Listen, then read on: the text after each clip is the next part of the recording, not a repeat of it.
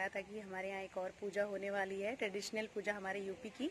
तो ये जो पूजा है ना, इसका नाम थोड़ा अजीब है।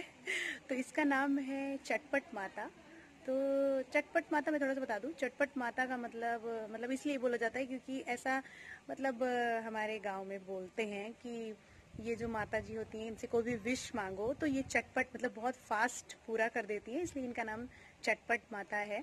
तो उन्हीं की पूजा होगी आज। तो इसमें बेसिकली जैसे इसके पहले वाली पूजा में भी मैंने बताया था कि लेडीज़ों की होती है तो ये भी लेडीज़ों की ही होती है। तो इसमें सात या चौदह लेडीज़ होती हैं और सुहागन औरतें जो कि मैरिड वुमेन होती हैं, शादीशुदा, वही होती हैं। और इनमें पूजा वगैरह किया जाता है। फिर प्रसाद में खोए की मिठाई चढ़ाई जाती है।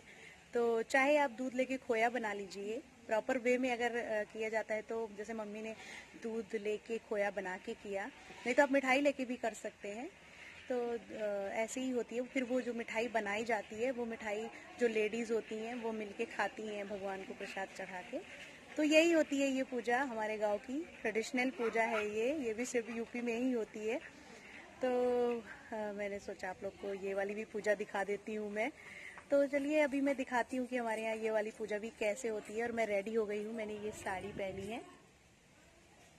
और क्योंकि मैं पूजा वगैरह में साड़ी ही पहनती हूँ, मुझे अच्छा भी लगता है और इसलिए मैं तैयार हो गई हूँ। और अभी मैं बैक कैमरे से दिखाती हूँ मेरा पूरा गेटअप तो और बाबू अभी सो रहा है।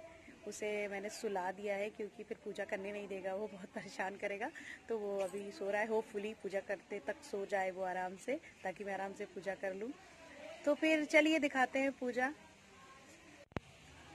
तो चलिए मैं आप लोगों को दिखाती हूँ। हमारे यहाँ पूजा की तैयारियाँ चल रही हैं और मतलब फैमिली वाले आ गए। फैमिली वाले मीन्स इसमें सेवन लेडीज़ की पूजा है। तो हमारी फैमिली क्योंकि बहुत बड़ी है मेरे पापा सात चार भाई हैं तो फैमिली बड़ी है तो सात लेडीज़ तो हमारे घर में ही मिल गई हैं। तो चलिए मैं आप लोग को दिखाती हूँ कौन कौन आया और क्या क्या हो रहा है। तो यहाँ पर पूजा की तैयारियाँ हो रही हैं। और सब लोग आ भी गई हैं तो अब पूजा स्टार्ट होने वाली। हमारे यहाँ कोई भी पूजा होती है, उसमें सबसे पहले आलता ज़रूर लगाते हैं, जैसे मैं पहले भी बता चुकी हूँ आप लोगों को। तो बस वही आलता लगा रही हूँ मैं यहाँ पे बैठ के, क्योंकि बहुत शुभ होता है आलता हमारे यहाँ, बहुत शुभ माना जाता है तो बस वही लगा रही हूँ मैं।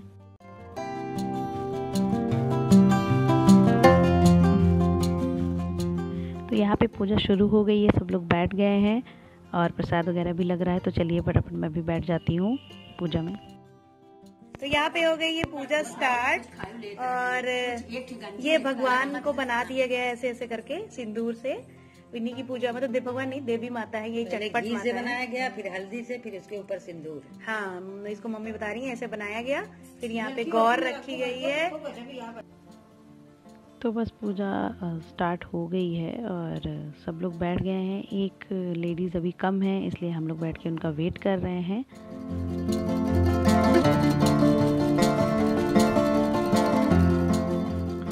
तो बस अब हो गई है पूजा शुरू। सब लोग सातों लेडीज़ आ गई हैं और इसमें देखिए प्रसाद पत्ते में रखा गया है।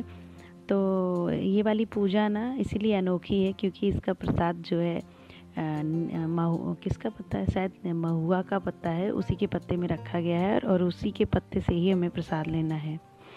तो यहाँ पे मम्मी ने पूजा स्टार्ट कर दी और प्रसाद भी लग गया है। और अभी देखिएगा कि हम लोग प्रसाद कैसे खाएँगे। बहुत ही एकदम डिफरेंट पूजा है ये। तो बस देखते रहिए।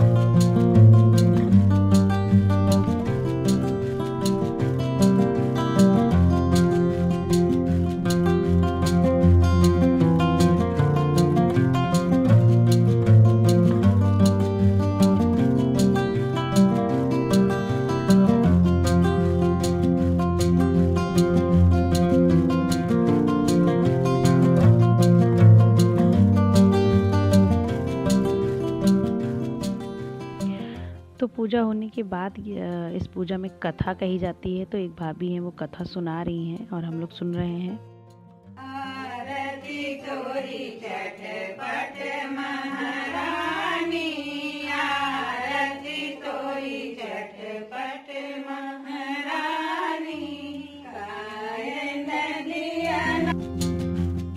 तो ये देखिए इस पूजा में प्रसाद को ऐसे खाया जाता है, खड़े होके पत्ते को हाथ में लेके डायरेक्ट मुँह से खाना है, हाथ नहीं टच करना है कि हाथ से उठा के खाना है।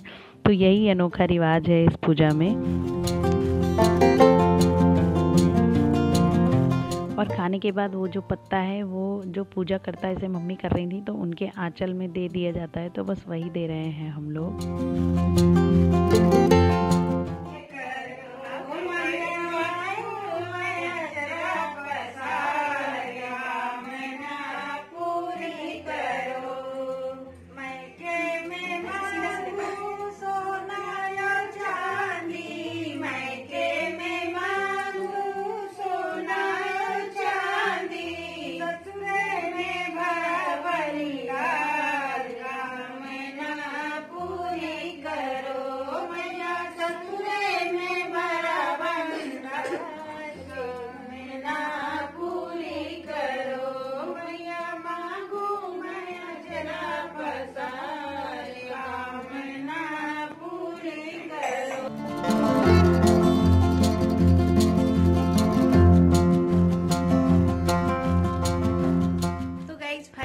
पूजा ख़त्म हो गई है और देखा आप लोगों ने कैसी होती है पूजा। तो ये वाली पूजा ना चटपट माई वाली पूजा ऐसे ही होती है। और ये शिव आ गए हैं, बाबू आ गया है मेरा। सो रहा था ये, जैसे ही पूजा खत्म हुई वैसे ही उठा। बड़ा समझदार बेटा है मेरा। जैसे ही पूजा खत्म हुई वैसे ही उठा है। और ये देखिए खेल रहा है मेरी गोद में। आ, अभी हम लोग जा रहे हैं खाने क्योंकि ये वाली पूजा में कुछ खाया पिया नहीं जाता और मैंने दो बिंदी लगाई। देखिए ये पूजा में जो बिंदी चढ़ाई जाती है ना वो प्रसाद के तौर पे लगाई जाती है और पीला सिंदूर लगाया जाता है जैसे मैंने पहले भी बताया हमारे यहाँ पूजा में। तो पूजा पूजा हो गई। चलिए खाना वाना खा के फिर मिलते हैं आप लोगों से थोड़ी देर में। तो गैस पूजा वगैरह हो गई है और धूप में आ गई हूँ मैं खाना वाना खा के क्योंकि अंदर ठंड लग रही थी और बहुत तेज़ धूप है। सीधे मुँह पे लग रही है, लेकिन अच्छा लगता है धूप में बैठना। और हवा बहुत तेज़ चल रही है, इसलिए थोड़ा ठंडा मौसम भी है आज यहाँ का। और अभी मैं सोच रही हूँ आप लोगों को आज अपना मटर का खेत दिखा दूँ। अब गाँव आई हूँ तो गाँव वाली चीज़ें प्रॉपर आप लोगों को दिखा देती हूँ। तो अभी हम लोग जाने वाले हैं। मटर के खेत में फिर मैं आपको दिखाऊँगी। हमारे खेत में ढेर सारी मटर की फलियाँ लगी हैं और गेहूँ का भी खेत है और और आलू वगैरह का भी है।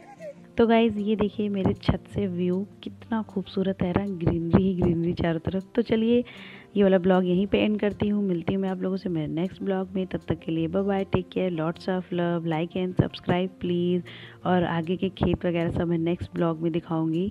तब तक के लिए bye bye like and subscribe